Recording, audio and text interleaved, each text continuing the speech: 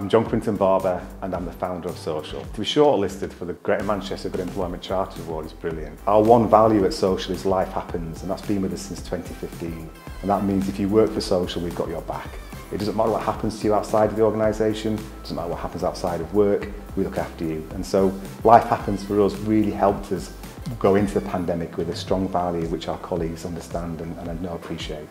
We've grown to about 55 colleagues and during the lockdown we actually added 20 more new people to the business and we've got regional offices right across the UK, our headquarters in Manchester. So it's really important that we had good employee engagement to make sure that our new colleagues felt part of the culture, felt supported, and our existing colleagues, them too, felt supported and well looked after. So it's at the heart of what we do. To win a Great Manchester Employment Charter Award for Social would be absolutely fantastic.